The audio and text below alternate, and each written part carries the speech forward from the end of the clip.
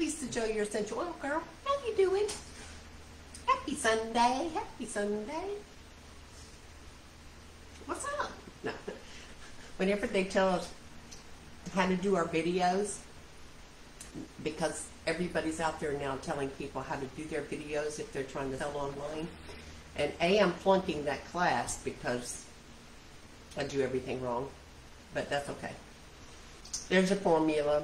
Once you start watching for it, you'll see, you know, everybody does the same thing. So apparently, until I get on board with that, I won't be successful. so, yeah. Anyway, that's okay. I'm just jumping on as me right now. That works, right? Anywho, we um, I want to tell you about my experience at church today because it's Sunday. Sunday. Um, so I had this. I don't know what what caused it, and that's not true. I think it's just part of who I am. I got I got where um, I tend to I tend to think things and and I keep my mouth shut a lot because some of the I'm just like God would not be happy with the way I think. And I'll actually ask people, you didn't hear what I said, did you? If I'm just thinking, or sometimes I accidentally say something and I say, oh, you didn't, I didn't mean to say that, or whatever. um, anywho, so we go into church today, and I have my hearing aids in, right?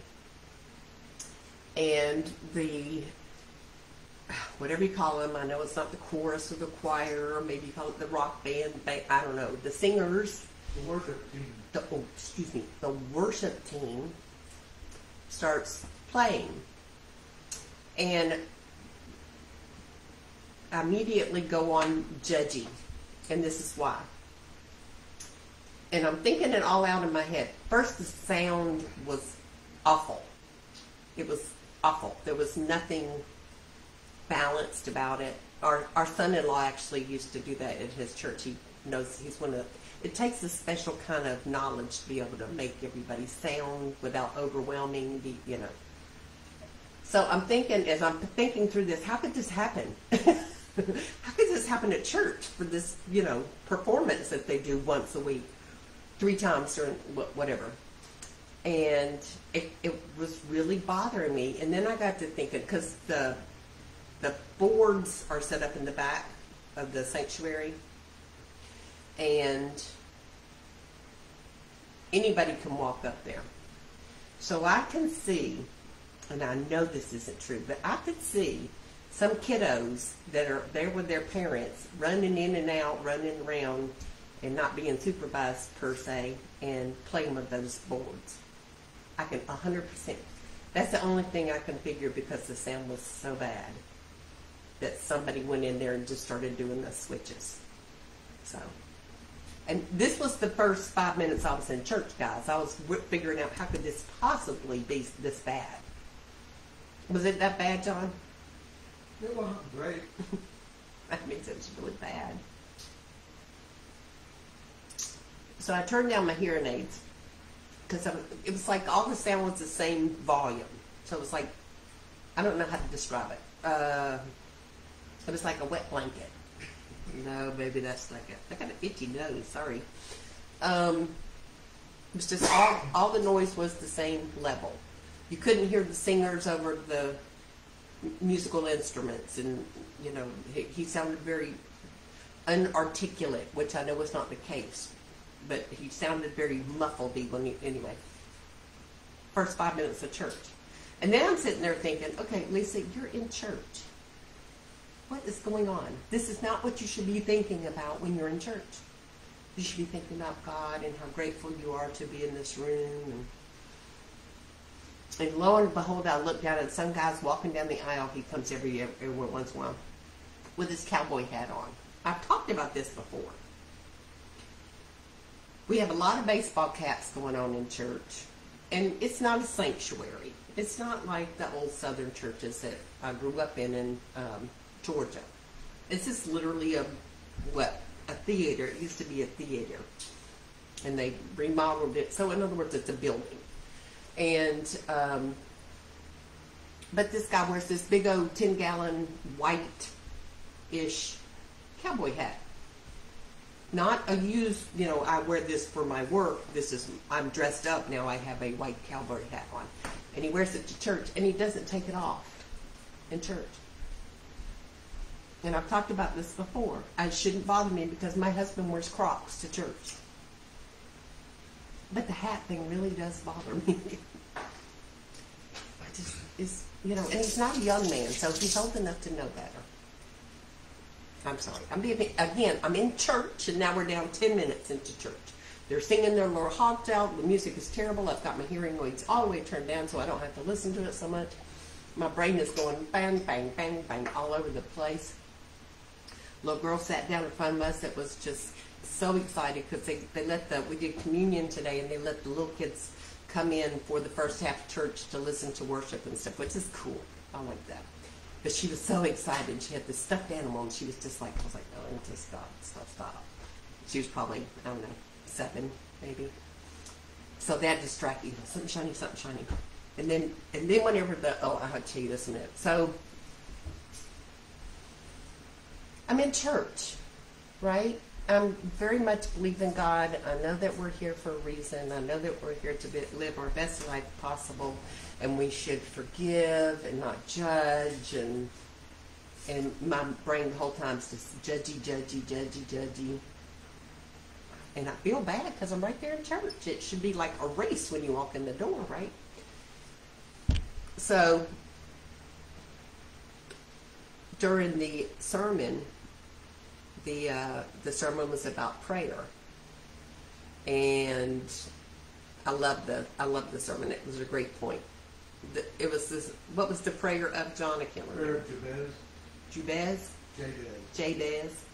Jabez actually means pain. His mother named him Pain because she had pain while she was birthing him. That's rude.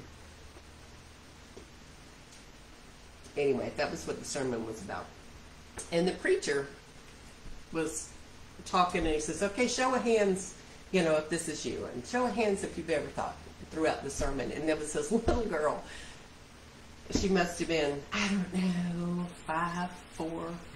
And every time he told, to, to, you know, raise your hand, it was just, you know, her little hand would shoot up all the way up.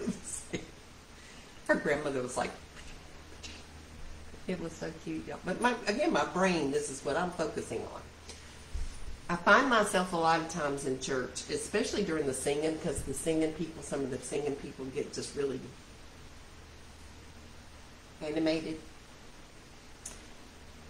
at which I go judgy because I'm like, there's no way they're sober. You know, that's the kind of thing I do. I just like, there's no way I'm, they're sober because they're just too dancey in church. You just nobody can be that confident about dancing in church like that. I'm sorry, it's just you've got to be high. so, again, judgy. So I find myself a lot of times just closing my eyes. If I close my eyes, and I think this probably happens to a lot of us I'm going to go ADAD, ADHD, squirrely heads. I don't know what you call us. I, I didn't get a, a bona fide title when I was a child, but something shiny distracts me. I mean, just it, especially at church. And some days were worse than others. And today I was just terrible. I was just all over the place. But I did appreciate the fact that they talked about um, prayer, and the preacher mentioned that one of the one of for new Christians um, that come into the church, that's one of their main questions is how do I pray? And that's a, that's a solid, good question. And the answer is pray how you want to pray, basically. Um, because I think people make it into this, especially, especially, I would think, newer Christians, you know, after you, as you read the Bible and they, some of the verbiage they use in the Bible, and you're like, I don't even know how to pronounce that. So they, thouest, and thosest, and how do you say that in a prayer? Um, but yeah. So just, just, just pray. just just pray. You can pray. You can pray for yourself. You can pray for your friends. You can pray for your security. You can pray for your church. You can pray for. I mean, it's not like a uh, Aladdin's lamp. You know, you don't make wishes, but don't make it hard. It's easy. Just start talking and listen. That's that's the thing I have trouble with. He also talked about, you know, how people meditate and and you know go off to just have quiet time and listen to the Lord. And I'm like, no, this this brain is not going to be able to. Even whenever I go to bed at night, I can't be quiet. I have to have something in my ears going as I go to sleep because I can't I can't just have the quiet. I know it's sad, but it is what it is. Anyway, I hope y'all were saying your prayers. And don't wear your cowboy hat to church. That's all I'm saying. I just ask you, just don't. And I know I'm being judgy, so in my prayers, I'm going to be talking to God and say, please help me be better and do better. I don't want to be that way. I really should keep my mouth shut so y'all don't know that stuff goes on, but I can't be the only one. Right? I can't be the only one that just sits there and does this judgy stuff goes on even while you're at church. Including about myself, so I mean, you know, look at look at the hair. I'm like, oh that's somebody actually gets on that does a video with that kind of hair. That's okay, whatever. All right.